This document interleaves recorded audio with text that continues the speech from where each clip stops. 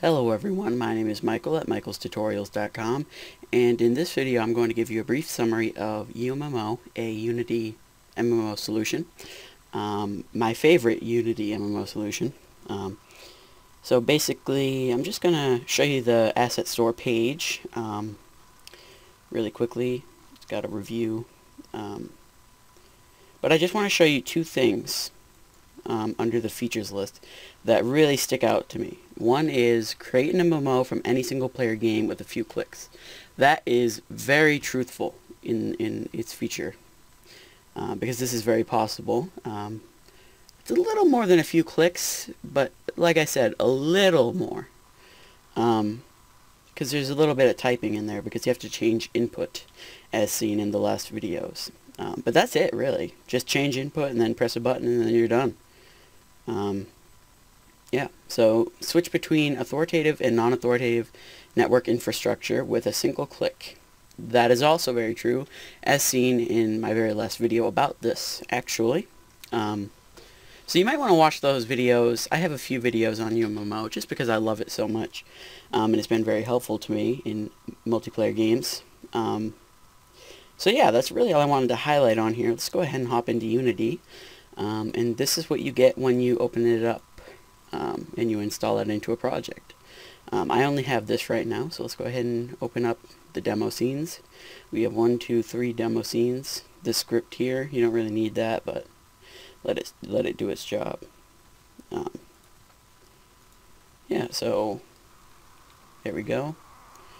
Um, and now we have our basic demo scene. This is uh, the Viking demo scene for a authoritative server. Um, this is for dynamic character setup. And this is for, I believe, it says area of interest, but it should be the non-authoritative server, which it is, um, and it's the non-authoritative setup example. Uh, I'm just going to show you the authoritative example because, frankly, it's the best example here, um, and authoritative is much better than non-authoritative if you don't know. Um, so let's go ahead and uh, build settings and add current build. We'll, we'll just put it on desktop as AST. We'll build that and then I'm just going to go ahead and close out whatever opens so I can make some adjustments to this.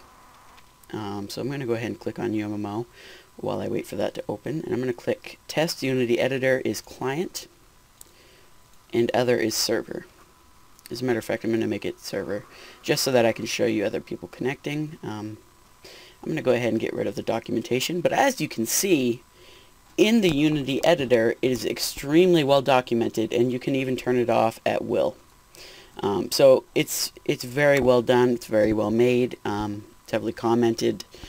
It is, frankly, an amazing system. You have timeout settings, so you can time a player out after so long of being idle. You have a data transmission, which is essentially level of detail. Um, you have a ton of stuff. You have this custom module, which is uh, just something that you can make to extend UMMO, essentially. Um, and yeah, you can do that now. It's a new feature. Um, there is sync legacy animations um, and simply lerp transform. Basically, what these modnet um, prefabs do is they allow you to extend the way the network view is seen, as I remember. Um, and it can make it so that no matter what ping you're at, there's basically no lag or no skipping out, you know. So those are very useful. Um, so let's go ahead and uh, give this a build and run.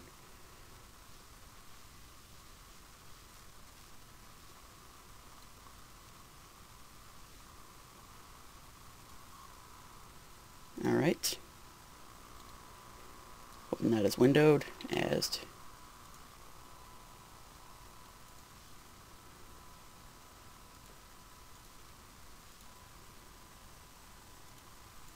I'll just open it from my desktop. Okay. So as you can see, we are now in the server. Everything looks very smooth. Now if I was to connect another one, you can see that multiplayer does work. And there we go. As you can see, it's all working. Everything very smooth. You know, Um, if I go up here, there is a press space to talk to Ulf. I think you have to get up closer to him. Oh, that's not working ever since um, the developer re-enabled Jump. Because Jump wasn't enabled before the ModNet prefabs came along.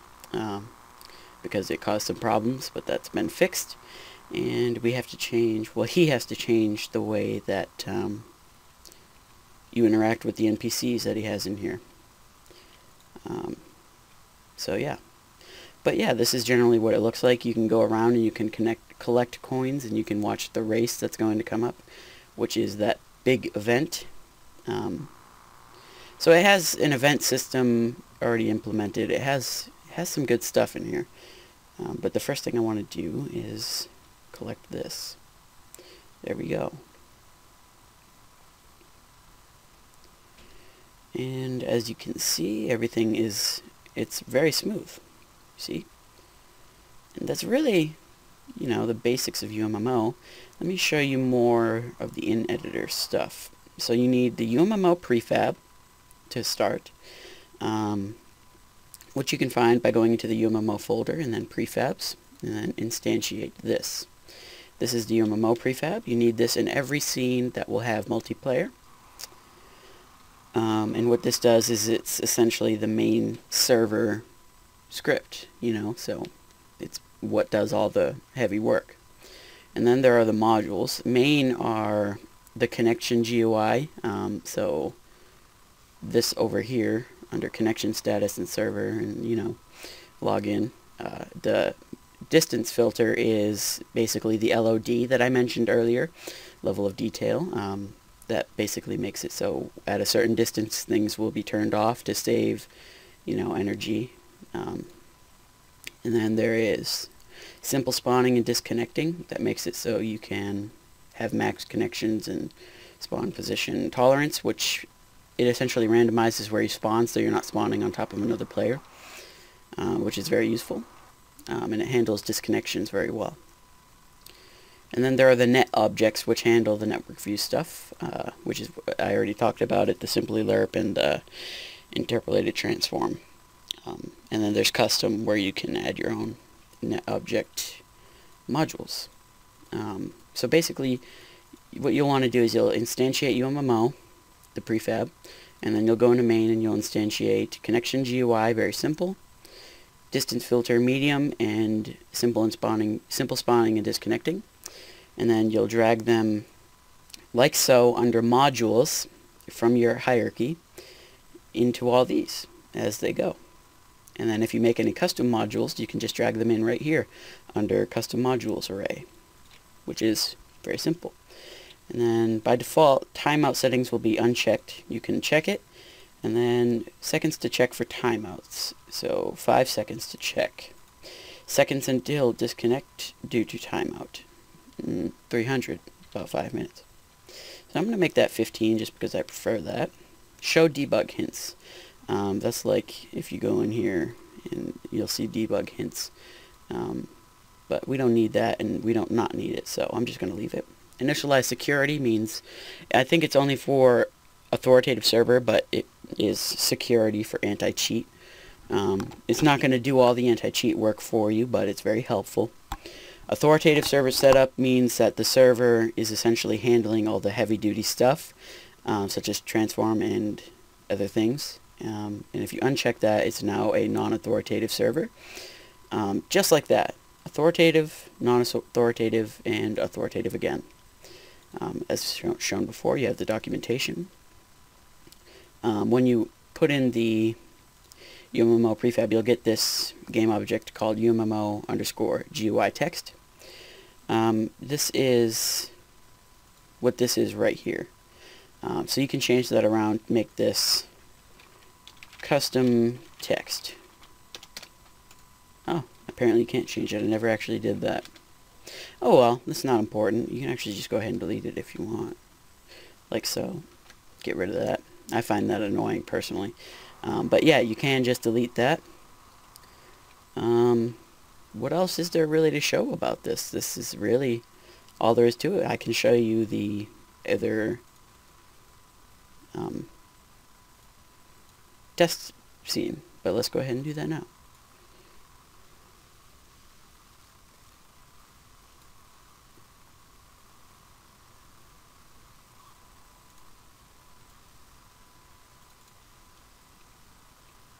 So you have this guy, very popular Unity hero, we might say. Um, and this is non-authoritative. Oh, what's this?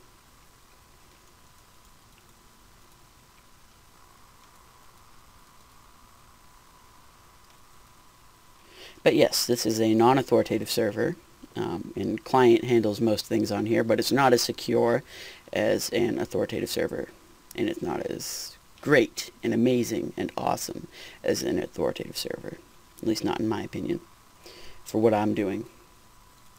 Um, and I'll show you the last demo scene really quickly.